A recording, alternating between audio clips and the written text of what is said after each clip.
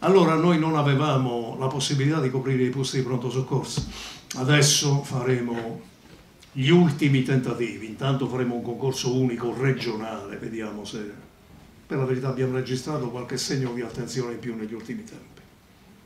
La gente comincia a rivenire, a ritornare in Campania, sinceramente. Bene, faremo un concorso unico regionale, cercheremo la prossima settimana di utilizzare tutti gli idonei di tutte le graduatorie, di tutte le ASL, le aziende della regione, per verificare la disponibilità di impegnare nell'attività di pronto soccorso non solo i medici dell'emergenza, che non ci sono, ma anche professionisti di eh, come dire, specialità equipollenti, cardiologi, internisti, gastroenterologi, magari con contratti a termine e con l'impegno a stabilizzarli sulla specialità di riferimento quando partono nuovi concorsi.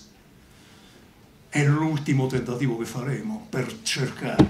Abbiamo scoperto altri fenomeni quando abbiamo deciso di utilizzare gli specializzanti, cioè giovani laureati in medicina non parcheggiatori abusivi, laureati in medicina che si iscrivono alle scuole di specializzazione. A volte abbiamo i primari, i responsabili universitari che curano le scuole di specializzazione, che fanno un lavoro di dissuasione.